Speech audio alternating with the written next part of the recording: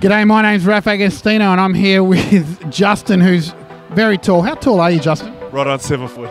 Seven foot. I've actually never interviewed a seven foot man, but anyway, hey, what are we doing here? Tell us why why, why you've come all the way to Adelaide.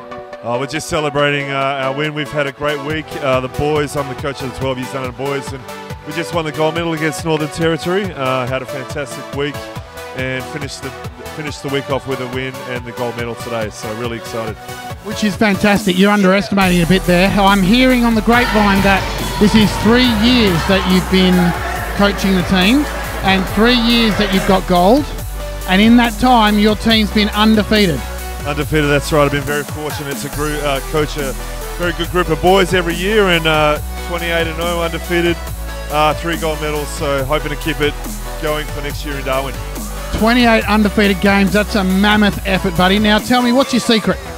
Oh, it's all about picking the right kind of boys, and I think I've got the uh, the formula down. Just want to get some talent, the boys that can play, but also good people, and that's what we've been able to do over the last three years. And they've certainly represented Victoria really well over the last three years.